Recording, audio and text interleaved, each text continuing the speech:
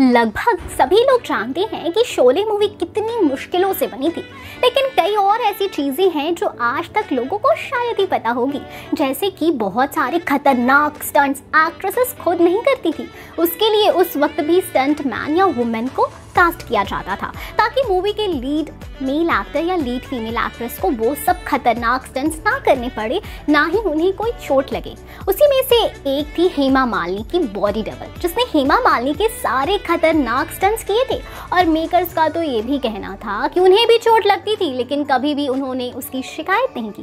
बस उसे अपना काम समझकर पूरी लगन से वो करती थी। और इतना ही नहीं, वो पूरी इंडिया की पहली स्टंट वुमेन थी और उनका नाम है रेशमा पठान।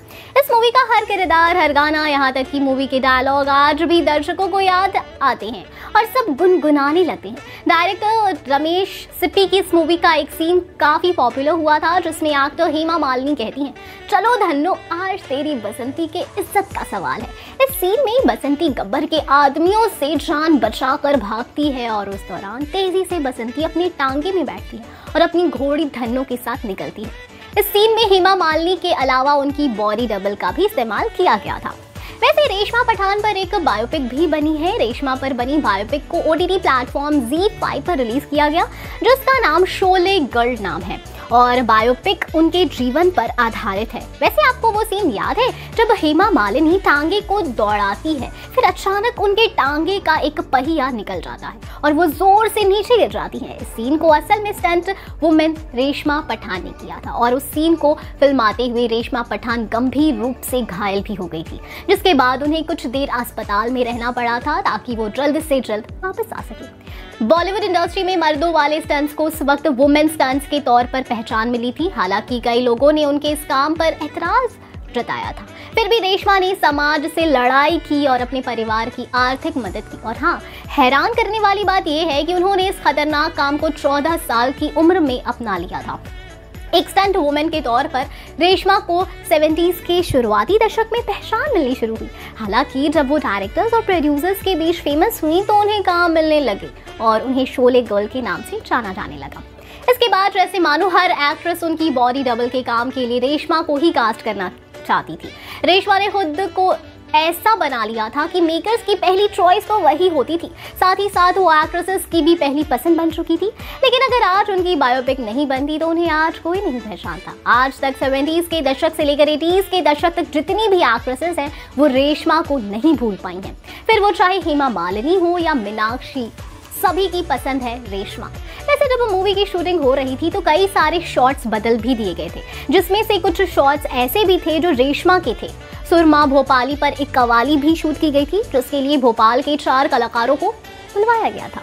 लेकिन उस सीन को काट दिया गया। और वो तो और अमिताभ बच्चन और धर्मेंद्र जी जिस होटल में खाना खाते हैं, वहाँ से वो किसी की मोटरसाइकिल लेकर भाग जाते हैं। इस शॉट को भी मूवी की लंबाई को ध्यान में रखते हुए काट दिया गया था। उस सीन को हेमा मालिनी के बॉडी डबल रेशमा पठान किया था और इस सीन को भी मेकर्स ने हटा दिया था। इतने सारे चेंजेस इसलिए किए गए थे क्योंकि मूवी की लंबाई ज़्यादा हो गई थी, जिससे सेंसर बोर्ड पास नहीं कर रहा था। इसलिए मेकर्स के पास कोई दूसरा ऑप्शन नहीं था, जिसकी वजह से उन्हें न चाहते हुए भी उन सारे शॉट्स को हटाना पड़ा था।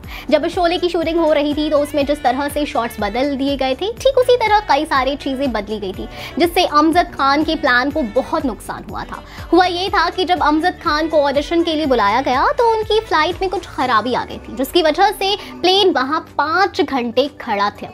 उस प्लेन के सारी सवारी बैंगलोर चले गए थे, लेकिन अमजद खान उस प्लेन के ठीक होने तक का वहीं वेट कर रहे थे और अंदर ही अंदर डर रहे थे कि कहीं मेकर्स वो रोल किसी और को ना दे दे। अब जब वो वहाँ पहुँचे तो उन्होंने अपनी सच्चाई मेकर्स को बताई और मेकर्स अमजद की बात मान गए और उनका ऑडिशन ले लिया गया, जिसके बाद उन्हें फाइनल भी कर दिया गया। पर अमजद खान को मेकर्स ने एक चेतावनी दी कि कुछ भी हो, गब्बर का रोल उन्हें परफेक्शन के साथ करना है और अमजद भी ये समझ गए थे कि सिचुएशन करो या मरो वाली है। इसलिए वो खुद को उस कैरेक्टर में उतारने के लिए डाकुओं पर लिखी एक किताब पढ़ने लगे, जिसका नाम था अभिसप्त चंबल, जिसमें चंबल के डाकुओं के बारे में लिखा था और ये किताब उन्हें अमिताभ बच्चन के पिताजी ने दी थी, ताकि वो रोल के लिए और अच्छे से तैयार हो जाए। ऐसा नहीं था कि अमजद खान को गब्बर के रोल के लिए सिर्फ़ एक्टर डैनी से खतरा था। एक और अभिनेता थे जो गब्बर का रोल करना चाहते थे और वो कोई और नहीं, संजीव कपूर थे। जो बाद में मूवी में ठाकुर बनी। संजीव ने मेकर्स से रिक्वेस्ट की थी कि लेकिन संजीव का सीता और गीता में जो रोल था, उसकी वजह से मेकर्स जानते थे कि ऑडियंस कभी भी उन्हें डाकू के कैरेक्टर में एक्सेप्ट नहीं करेगी। इसलिए उन्हें गब्बर के रोल के लिए मना कर दिया गया था। लेकिन देखने वाली बात ये थी कि शोले मूवी में संजीव कपूर का ठाकुर वाला रोल इतना फ़ेमस हुआ कि उन्हें फिर से एक ब्लॉकबस्टर मूवी में ठाकुर का रोल ही मिला। जिसके बाद तो मानो संजीव कपूर के लिए उनकी वो पहचान ही बन गई। अब आने वाली मूवी शोले टू में भी मेकर्स को ऐसी ही मेहनत और स्ट्रॉन्ग कहानी के साथ आना होगा ताकि वो भी एक अलग छाप छोड़े। लोगों के दिलों पर तो आप कितने एक्साइटेड हैं शोले टू को लेकर हम फिर मिलेंगे एक नई वीडियो के साथ। अब तक खुश रहें आन सेफ़ रहें बाय